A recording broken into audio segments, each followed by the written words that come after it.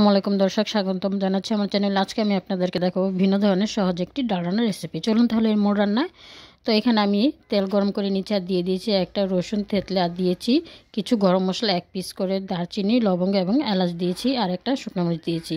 রসুনটাকে আমি একটু লাল করে ভেজে দিয়ে দিলাম, একটা বড় সাইজের পেঁয়াজ কুচি। পেঁয়াজ আর রসুনটাকে আমি ভালো করে লাল করে ভেজে নিয়েছি, এরপর এখানে দিয়ে দিব এক চামচ পরিমাণ আদা রসুন বাটা।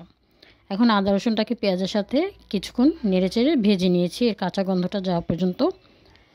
তো এরপরে আমি দিয়ে দিলাম এখানে হাফ চামচ করে হলুদ এবং শুকনা মরিচের গুঁড়া।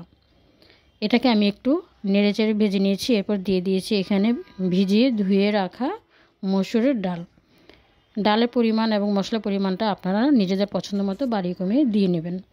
এখন আমি ডালটা এই মশলা এবং পেঁয়াজের সাথে ভালো করে নেড়ে চেড়ে এক দুই মিনিটের মতো কষিয়ে নিয়েছি। আর দিয়ে দিয়েছি পরিমাণ মতো লবণ। এটা ভীষণই মজার এবং সহজ একটি ডাল রান্নার রেসিপি তো ডালটাকে আমি দুই মিনিটের মতো এভাবে নেড়েচেড়ে কষিয়ে নিয়েছি, দেখুন, এর কালারটাও চেঞ্জ হয়ে গিয়েছে। আর দেখতে এখন কতটা লোভনীয় দেখাচ্ছে। এটা দেখতেও লোভনীয়, খেতেও ভীষণ মজার। এই পর্যায়ে আমি এখানে গরম পানিটা ব্যবহার করে দিয়েছি। এখানে আমি তিন কাপ পরিমাণ গরম পানি দিয়েছি। আর ডালটাকে পাঁচ মিনিটের মতো এভাবে ঢেকে রান্না করেছি, অল্প আছে। দেখতেই পাচ্ছেন ডালটা একদম সেদ্ধ হয়ে গিয়েছে। এরপর পর্যায়ে আমি এখানে তিনটা কাঁচামরিচ দিয়ে দিলাম। ঝালটা অবশ্যই নিজেদের পছন্দ মতো বাড়ি কমিয়ে দিবেন।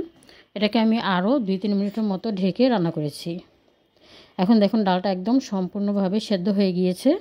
আর ডালটা এ পর্যায়ে আমার রান্না কমপ্লিট হয়ে গিয়েছে। আশা করছি আপনাদের আমার এই সহজ ডাল রান্নার রেসিপিটা ভালো লেগেছে। এটা গরম ভাত এবং সাদা আটা রুটির সাথে খেতে ভীষণ ভালো লাগে।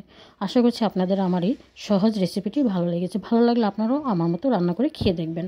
ধন্যবাদ সবাইকে। আসসালামু আলাইকুম।